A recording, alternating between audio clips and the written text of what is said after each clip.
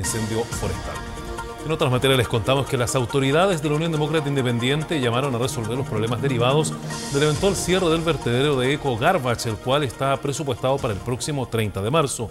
Si bien existe un acuerdo entre los municipios de la provincia y un proyecto que permitiría la compra de camiones que trasladen la basura hasta el muelle, aún falta que los recursos sean aprobados antes del cierre del vertedero y evitar así una emergencia sanitaria.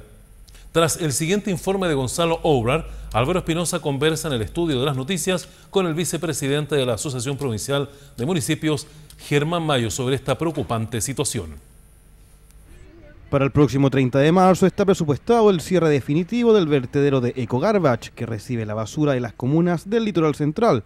Es por esto que la diputada María José Hoffman, junto al concejal y vicepresidente de la Asociación Provincial de Municipios, Germán Mayo, manifestaron su preocupación ante el escaso tiempo que existe para lograr una solución definitiva.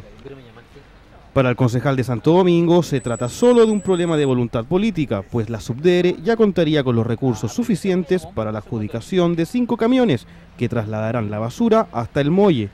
Solo faltaría el traspaso de estos fondos al gobierno regional y su posterior aprobación. Decisión política, decisión política.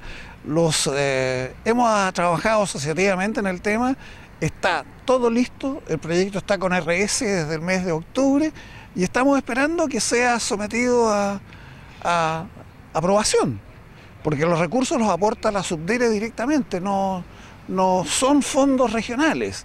Entonces, eh, los municipios no tenemos los recursos para poder disponer el traslado de, de la basura a Valparaíso. Por su parte, la parlamentaria de la UDI calificó el tema como grave y llama a unar criterios para lograr el acuerdo necesario que permita bajar los recursos para la adquisición de estos camiones y evitar en los próximos meses una emergencia sanitaria en la provincia. Aquí no hay un color político, lo que necesitamos es que se concrete. Hoy día los recursos están y necesitamos que el intendente ponga esto como prioridad en el Consejo Regional para que se apruebe. ¿Por qué? Porque los recursos los pone Subdere, no los pone el gobierno regional. Por lo tanto, lo único que necesitamos es que esta vía se despeje. Aquí muchas cosas y muchos problemas públicos solamente no se solucionan por falta de voluntad política y nosotros como UDI queremos apoyar a que este proyecto se resuelva y prevenir la emergencia sanitaria que va a tener la provincia de San Antonio. Por primera vez en años, los alcaldes de la provincia lograron un acuerdo en materia de resolver la situación de los residuos domiciliarios, siendo la primera asociación provincial que cuenta con un proyecto común,